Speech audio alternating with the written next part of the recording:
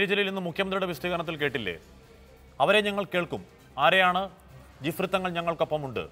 A P വിഭാഗം ഞങ്ങൾക്കൊപ്പമുണ്ട്. അവർക്ക് ബോധ്യപ്പെടാത്ത നിങ്ങൾക്ക് ബോധ്യമാകുന്നതിൽ നിങ്ങളുടെ ബോധ്യം ആർക്ക് വേണമെന്ന് ചോദിക്കുകയാണ്. അപ്പോഴാണ് സദുറാമനോട് തന്നെ പറയുന്നത് ഒരു മതത്തിൽ ഭിന്നതയുണ്ടാക്കുകയാണ്. ആ ഭിന്നത ഉണ്ടാക്കാനുള്ള നേതൃനിരയിൽ താങ്കളുമുണ്ടെന്ന് Shri K T Jaleel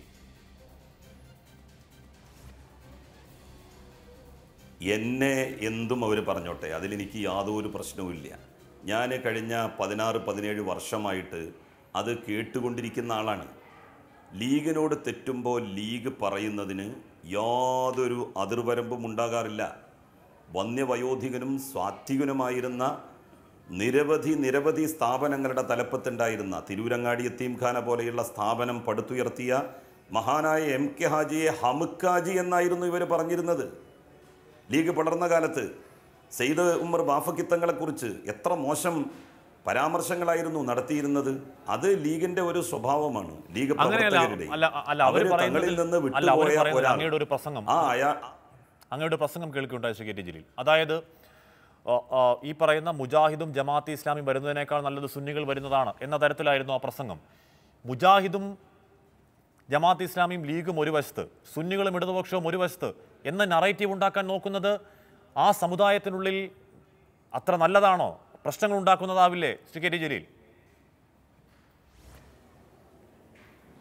P S സിക്ക് വിടണം എന്നുള്ള വാദത്തെ മുസ്ലിം ലീഗ് എതിർത്തത് എന്ത് പറഞ്ഞുകൊണ്ടാണ്? പി എസ് സിക്ക് വിട്ടാൽ നിരീശ്വരവാദികൾ അതുപോലെ തന്നെ കമ്മ്യൂണിസ്റ്റുകാർ അവരൊക്കെ വഖഫ് ബോർഡിൽ വരികയും അവർ ആരാധനാലയങ്ങളുടെ പ്രത്യേകിച്ച് മക്ബറകളുടെ ദർഗകളുടെ ഒക്കെ റിസീവർമാരായി നിയമിക്കപ്പെടുകയും ചെയ്യുന്ന സ്ഥിതി ഉണ്ടാകും.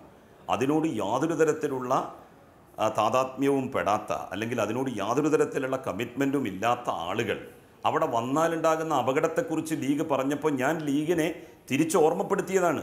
ലീഗ് ഇങ്ങനെ ഒരു അപകടകരമായ വാദം ഉയർത്തിയാൽ ആ വാദം കുറച്ചുകൂടി അങ്ങോട്ട് നീട്ടിപ്പിടിച്ചാൽ ചോദിക്കാൻ വേണ്ടി പോകുന്ന ചോദ്യം എന്താണ്? കേരളത്തിലെ മുസ്ലിം സംഘടനകളിൽ നവോത്ഥാന സംഘടനകളെന്ന് പറയപ്പെടുന്ന സംഘടനകൾ അല്ലെങ്കിൽ പരിഷ്കരണ സംരംഭങ്ങളുമായി വന്നിട്ടുള്ള സംഘടനകൾ അവർക്ക് വിയോജിപ്പുള്ള പല കാര്യങ്ങളും ഉണ്ട്. പ്രത്യേകിച്ച് ദർഗകളുമായി മക്ബറകളുമായി ഖബറുകളുമായി ഒക്കെ ബന്ധപ്പെട്ട്. അപ്പോൾ എങ്ങനെയാണ് അവരുടെ കൂട്ടത്തിൽ നിന്നുള്ള ഒരാളെ അവിടെ റിസീവറായിട്ട് നിയമിക്കുക എന്ന് ആരെങ്കിലും ചോദിച്ചാൽ അതിന് ലീഗ് മറുപടി പറഞ്ഞ് പോകണം എന്നാണ് ഞാൻ പറഞ്ഞത്. അതിലെന്താ തെറ്റ്? നിങ്ങൾ പറ. അഡ്വക്കേറ്റ് മുഹമ്മദ് ഷാ ഈ ആർട്ടിക്കിൾ ഇരുപത്തി ആറ് അങ്ങ് പറയുന്നുണ്ടല്ലോ. ആർട്ടിക്കിൾ ഇരുപത്തഞ്ചിൽ പറയുന്നുണ്ട്. സാൻമാർഗികതയ്ക്കും ആരോഗ്യത്തിനും മറ്റ് വ്യവസ്ഥകൾക്കും വിധേയമായി മാത്രമേ മതാചാരവും പ്രചരണവും പാടുള്ളൂ. തോന്നിയതുപോലെ ഭിന്നിപ്പ് ഉണ്ടാക്കാൻ പറ്റുന്ന രീതിയിൽ ആ പ്രചരണം സാധ്യമാണോ ഭരണഘടനയ്ക്കുള്ളിൽ നിന്നുകൊണ്ട്? കെ എം ഷാജിക്ക് ഈ പറയുന്ന ആർട്ടിക്കിളിന്റെ പരിരക്ഷ ഉണ്ടാകുമോ? അഡ്വക്കേറ്റ് മുഹമ്മദ് ഷാ. അല്ല ഞാൻ പറഞ്ഞത് അഷ്മി. അഷ്മി ഒരു കാര്യം മനസ്സിലാക്കുക. ഈ ആർട്ടിക്കിൾ ഇരുപത്തഞ്ചിന്റെ പ്രത്യേകത മതം അനുഷ്ഠിക്കാനും മതം പ്രചരിപ്പിക്കാനുമുള്ള അവകാശമാണ്. ഇനി ആർട്ടിക്കിൾ ഇരുപത്തി ആറ് നമ്മൾ വായിക്കുമ്പോൾ മതസ്ഥാപനങ്ങൾ നടത്താനുള്ള അവകാശമാണ്. ആർട്ടിക്കിൾ ഇരുപത്തഞ്ചും ഇരുപത്തി ആറും ഇരുപത്തിയേഴും ഇരുപത്തെട്ടും ഒന്നിച്ച് വായിക്കും. അതൊരു ചാപ്റ്ററാണ്. ആ ചാപ്റ്ററിൽ ആർട്ടിക്കിൾ ഇരുപത്തിയാറിലെ മതസ്ഥാപനങ്ങൾ ഫംഗ്ഷൻ ചെയ്യാനുള്ള അവകാശം ആർട്ടിക്കിൾ ഇരുപത്തഞ്ചിൽ പറഞ്ഞിരിക്കുന്ന മതം പ്രൊഫസ് ചെയ്യുന്നവർക്കുള്ള ഒരു അവകാശമാണ്. അവിടെയാണ് ഗെറ്റി ജലീൽ സാഹിബ് പറഞ്ഞപ്പോൾ ഒരു കാര്യം ഗെറ്റി ജലീൽ സാഹിബ് പറയൂ. ആ മതം പ്രൊഫസ് ചെയ്യുന്ന ആൾക്കാർക്കല്ലാത്ത മതം മതം പാലിക്കുന്ന ആളുകൾക്കല്ലാത്തവർക്ക് മതസ്ഥാപനങ്ങൾ നടത്താൻ സാധിക്കുമെന്നാണോ അങ്ങ് പറയുന്നത്? അത് ഭരണഘടന അനുവദിക്കുമെന്നാണോ പറയുന്നത്? നിങ്ങൾ വീണ്ടും ഭരണഘടന ആർട്ടിക്കിൾ പതിനാറിന്റെ സബ് ആർട്ടിക്കിൾ അഞ്ച് വായിക്കൂ. അഞ്ച് വായിച്ചിട്ട് പതിനാറ് പറയുന്നത് തൊഴിലുമായി ബന്ധ എംപ്ലോയ്മെന്റുമായി ബന്ധപ്പെട്ട് മതത്തിന്റെ പേരിൽ വേർതിരിവ് നടത്താൻ പാടില്ല എന്ന് ആർട്ടിക്കിൾ സിക്സ്റ്റീൻ വൺ പറയുന്നു. സിക്സ്റ്റീൻ ഫൈവ് എന്ന് പറയുന്ന ഒരു എക്സ്ക്ലൂഷനാണ് ആ എക്സ്ക്ലൂഷൻ ഒന്ന് വായിച്ചു നോക്കൂ. മതത്തിന്റെ പേരിലുള്ള സ്ഥാപനങ്ങൾ അത് കൈകാര്യം ചെയ്യുന്ന റെഗുലേറ്ററി അതോറിറ്റീസിൽ അവിടെ ആളുകളെ അപ്പോയിന്റ് ചെയ്യുമ്പോൾ ദോസ് ഹു ആർ പ്രൊഫസിങ് റിലീജിയനെ അപ്പോയിന്റ് ചെയ്യണമെങ്കിൽ അതിനുവേണ്ടി നിങ്ങൾക്ക് ഡിസ്ക്രിമിനേഷൻ ആകാമെന്ന് പറയാം ആ എക്സ്ക്ലൂഷൻ ഉപയോഗിക്കുന്ന അങ്ങനെയാണ് ആ എക്സ്ക്ലൂഷൻ ഉപയോഗിക്കണമെങ്കിൽ പ്രൊഫസ് ചെയ്യുന്നവരെ വെക്കണം. ഞാൻ മുഴുവൻ കേൾക്കണം. പ്രൊഫസ് ചെയ്യുന്നവരെ നിങ്ങൾക്ക് അപ്പോയിന്റ് ചെയ്യണമെങ്കിൽ മാത്രമാണ്. ഇല്ലെങ്കിൽ ഡിനോമിനേഷൻ അപ്പോയിൻമെന്റ് ആയിരിക്കണമെന്നാണ് പറയുന്നത്. ഇവിടെ പ്രശ്നം എന്താണെന്നറിയോ? പ്രൊഫസ് ചെയ്യുന്നവരെ അപ്പോയിന്റ് ചെയ്യുന്ന ചെയ്യണമെങ്കിൽ ആ അപ്പോയിൻമെന്റ് നടത്താനുള്ള കോമ്പിറ്റൻസ് പബ്ലിക് സർവീസ് കമ്മീഷൻ ഇല്ല. പബ്ലിക് സർവീസ് കമ്മീഷൻ അത് നോക്കാനുള്ള കോമ്പീറ്റൻസ് ഇല്ലാത്തതുകൊണ്ടാണ് വക്കഫ് ബോർഡും ദേവസ്വം ബോർഡും ഒക്കെ അതിന് പ്രത്യേക ബോർഡുകൾ ഉണ്ടാക്കിക്കൊണ്ട് അപ്പോയിൻമെന്റ് നടത്തുന്നത്.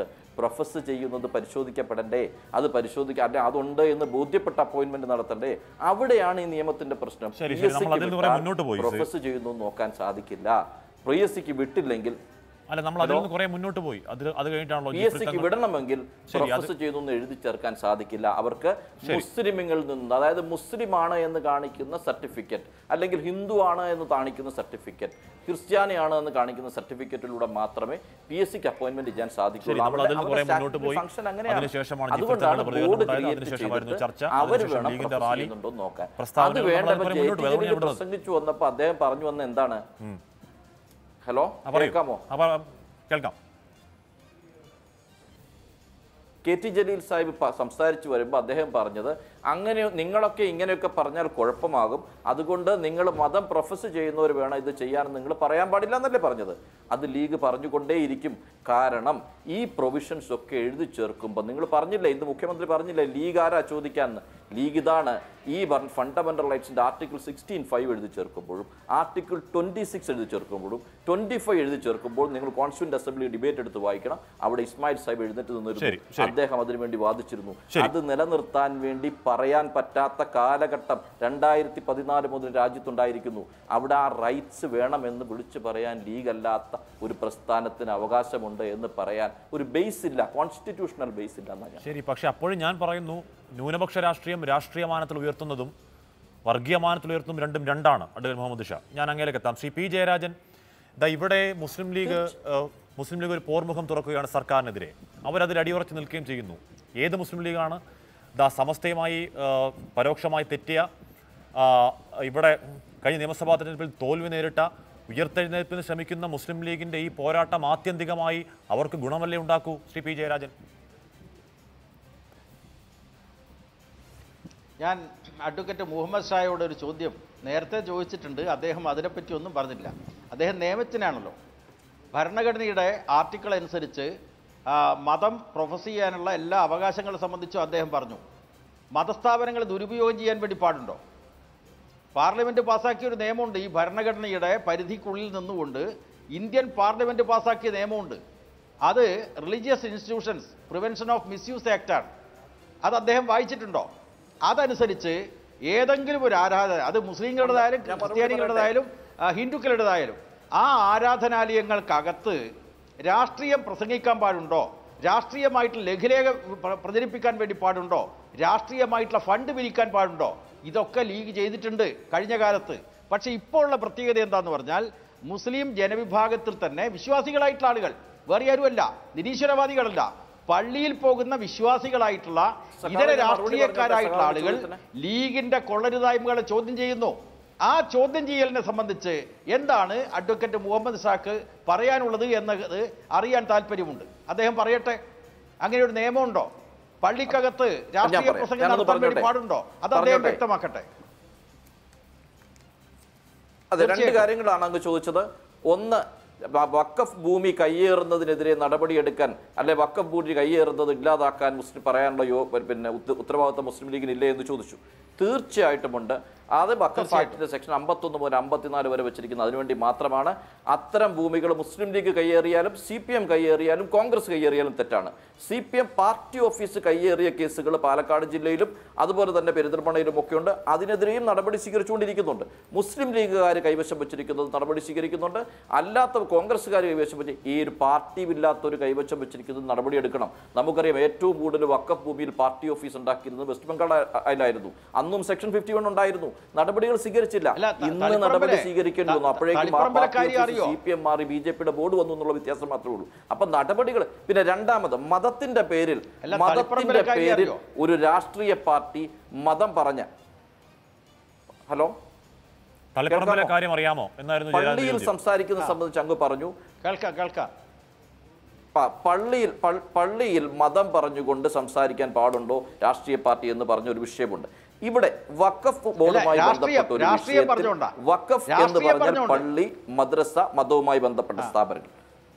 അവിടെ ഞാൻ പറയട്ടെ അതിന്റെ സ്റ്റേക്ക് ഹോൾഡേഴ്സ് ആണ്. അതായത് ഈ നിയമത്തിന്റെ സ്റ്റേക്ക് ഹോൾഡേഴ്സ് ആണ് വക്ക മുത്തവല്ലിമാരാണ് സ്റ്റേക്ക് ഹോൾഡേഴ്സ് മുത്തവല്ലിമാരാണ് സ്റ്റേക്ക് ഹോൾഡേഴ്സ് മുത്തവല്ലിമാർ ചർച്ച ചെയ്യേണ്ട വിഷയം തന്നെയാണ് വക്കഫ് ബോർഡുമായി ബന്ധപ്പെട്ട ഒരു നിയമം ഉണ്ടാക്കിയത് മുത്തവല്ലിമാർ ചർച്ച ചെയ്യപ്പെടേണ്ടാത്ത വിഷയമൊന്നുമല്ല അത് എന്നാൽ രാഷ്ട്രീയമായി മതം പറഞ്ഞുകൊണ്ട് പള്ളികളിൽ കയറി വോട്ട് വാങ്ങുന്നതിന് വേണ്ടി മുസ്ലിം ലീഗ് ശ്രമിച്ചാലും അല്ലെ വോട്ട് ചോദിക്കാൻ ശ്രമിച്ചാലും പള്ളികളിൽ കയറി ഇലക്ഷൻ കഴിഞ്ഞ് കേക്ക് മുറിക്കുന്നത് സി പി എംകാരൻ ചെയ്താലും അതൊക്കെ തെറ്റാണ്. Political advocate Political Muhammad party എന്ന ഷായേക്കാളും നിലയ്ക്ക് അബ്ദുറഹ്മാൻ ആ section രണ്ടത്താണിയേക്കാളും 29 കെ ടി RP ജലീലിനേക്കാളും Act പ്രകാരമുള്ള പണ്ഡിതനല്ലേ? അവരുടെ അഫിലിയേഷൻ റദ്ദ് ചെയ്യേണ്ട കാര്യമാണ്.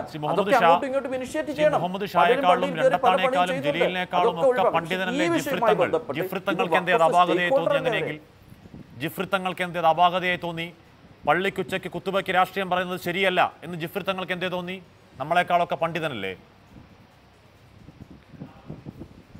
പള്ളി പള്ളിയിൽ വെള്ളിയാഴ്ച പ്രസംഗങ്ങളിൽ അത് പറയുന്നതല്ല പറഞ്ഞത്. പള്ളിയിൽ ചർച്ച ചെയ്യുന്നതല്ല പറഞ്ഞത്. പള്ളി കമ്മിറ്റികളിലും ചർച്ച ചെയ്യേണ്ട വിഷയമാണ്. മുത്തവല്ലിമാർ ചർച്ച ചെയ്യേണ്ട വിഷയമാണ്. പള്ളിയിൽ വെള്ളിയാഴ്ച ജുമാ പ്രസംഗത്തിൽ അത് പറയേണ്ടതില്ല എന്ന് മാത്രമുള്ളൂ. അത് തന്നെയാണ് സലാം- മുസ്ലിം ലീഗും പറഞ്ഞത്. പറഞ്ഞല്ലോ കുഞ്ഞാലിക്കുട്ടി സാഹിബ് അത് തന്നെ അഭിപ്രായപ്പെട്ടു. അല്ല അങ്ങനെയല്ലെന്നേ. പി എം എസ് എല്ലാം പറഞ്ഞത്? പി എം എസ് എല്ലാം ആദ്യ പ്രതികരണം എങ്ങനെയാണ് ശ്രീ മുഹമ്മദ് ശ്രീ മുഹമ്മദ് ഷാ? വെള്ളിയാഴ്ച ഉച്ച ഉച്ചപ്രാർത്ഥനയ്ക്കൊപ്പമുള്ള പ്രസംഗത്തിൽ പറയും. എന്ന് തന്നെയായിരുന്നു പി എം എസ് എല്ലാം പറഞ്ഞത്. കുത്തുബ പ്രസംഗത്തിൽ പറയുമെന്നാണ് പറഞ്ഞത്. പിന്നീടാണ് തിരുത്തിയത് എങ്ങനെ എങ്ങനെ എങ്ങനെ?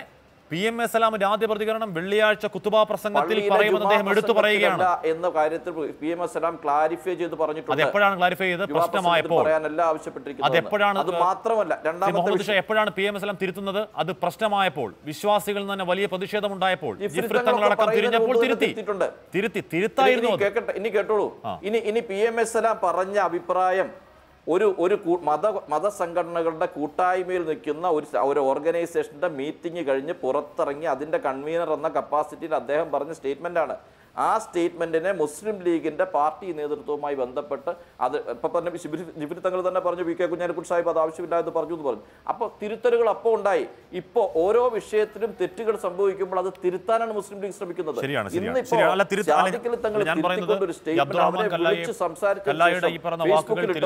അവിടെ കുറ്റമാണ്